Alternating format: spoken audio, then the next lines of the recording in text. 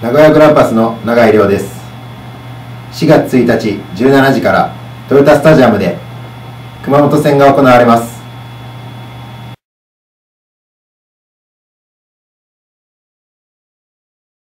えっ、とレーシングカーなども展示されているので楽しんでいただけただけたらと思います。